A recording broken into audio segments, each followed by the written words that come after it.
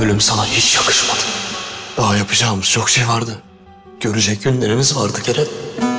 Çocuklarımızla birlikte balığa gideriz diyorduk. Здравствуйте, мои дорогие подписчики. Добро пожаловать на наш канал. Не забудьте подписаться на наш канал, чтобы быть в курсе новых видео. На этот раз Кирем не смог удержаться за жизнь и закрыл на жизнь глаза.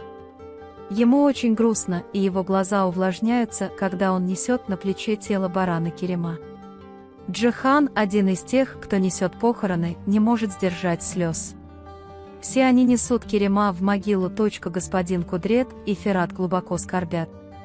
Брат Баран, смерть тебя совершенно не устраивала, у нас было много дел, дней, чтобы увидеть Кирем, мы говорили, что пойдем на рыбалку с нашими детьми. Баран не может сдержать слез, обнимает Дилана, и они оба расплакались. Но я обещаю тебе, твои мечты доверены мне, брат. Баран помогает похоронить тело и плачет. Даже если все уйдут, а он сидит у могилы Керема и любит свою землю, Дилан ждет его позади. Бэрон устает от печали и падает на руки Дилана, но просыпается ото сна после кошмара.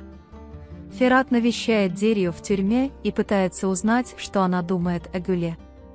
Иди и спроси своего отца, какую ловушку мы устроили для Дерья Гуля, и он расскажет тебе, дорогой Ферат, говорит он и встает из-за стола.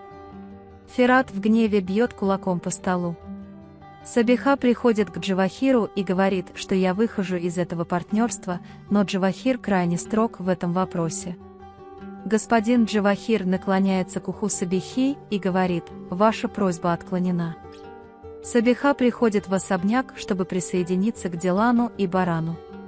Дилан в слезах со страхом смотрит на рот Сабихи. Дилан и Берон уходят в свою комнату, и Берон крепко держит Дилана за руки и говорит, «Я больше не могу никого терять, я буду жить так, чтобы мои близкие не пострадали», и они обнимают друг друга. Вы можете поделиться своим ценным мнением в разделе комментариев. Не забудьте подписаться и включить уведомления, чтобы видеть больше видео. Увидимся в следующем видео. Береги себя. До свидания.